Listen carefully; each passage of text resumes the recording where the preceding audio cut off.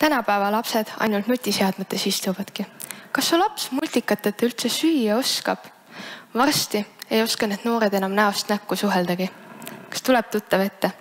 tõepoolest, viimase aastakümnendi jooksul on tehnoloogia areng olnud justkui raketikiirusel.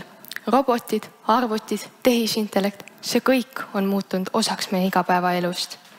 miks aga võtame seda progressi kui miskit halba, kui vaenlast?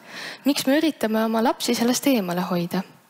meie teadusgrupp usub ja näeb, et robotid on hoopis hea viis meditsiinis, kuidas lastele suhtlemisoskusi arendada ja nendele vastava sõnavara õpetada.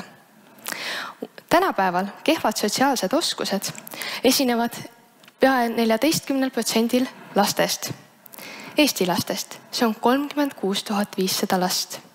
Neist igal kümnel on äh, tugiteenuse vajadus just psühho, psühhiaatriliste probleemide tõttu. närvisüsteemi häiretega lastel vanuses viis kuni kolmteist on teadlased leidnud, et esineb sotsiaalsete oskuste defitsiiti enam kui pooltel. tegelikult uuringud on näidanud, et ka täiesti normaalse arenguga lastel on suhtlemisoskuste defitsiiti pea igal kümnendal ehk siis kümnel protsendil. seega me võiks endalt küsida miks mitte kaasata roboteid, sest just robotid on uuringute alusel väga hea viis, kuidas lapsi köita treeningprotsessis. suhtlusrobotid suudavad last treeningprotsessis köita kaheksakümmend seitse protsenti ajast. lapsed, õppides koos robotiga, tegelikult suudavad õppida palju efektiivsemalt. Nad loovad rohkem seoseid, nad suudavad loogilisi järeldusi teha ja see kõik realiseerub sügavama õppega mina oma doktoritöö raames arendagi eestikeelset suhtlusrobotit. ajal, mil arvutiteadlased nuputavad ja mõtlevad, kuidas robot rääkima panna, olen mina see, kes töötab välja treeningprotokolle ehk siis treeninguid, suhtlemistreeninguid meie lastele. olen justkui roboti aju. ma olen see mõte, see sisu, see dialoog, mida laps ja robot omavahel peavad. tänaseks Tartu Ülikooli lastekliinikus juba tegutseb üks lapsesarnane robot Pepper.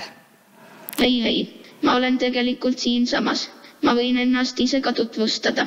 hästi, Pepper, tutvusta ennast siis ise publikule. mina olen Pepper, mulle väga meeldib lastega suhelda. koos saame vaadata pilte, mängida mänge ja vaadata erinevaid õpetlikke videosid. olen sõbraks saanud juba veerand saja lapsega tõepoolest, kõik lapsed, kes on Pepperiga kordki kohtunud, on hea meelega tagasi tulnud. Nad on leidnud, et Pepper on usaldusväärne, tark, mõistev ja köitev. seega me võiks küsida endalt, kas tõesti peaksime me selle tehnoloogia progressist hoidma oma lapsi eemal või hoopis loome võimaluse, kuidas seesama tehnika panna abi vajava lapse kasuks tööle. aitäh. aitäh. aitäh aitäh, Alina!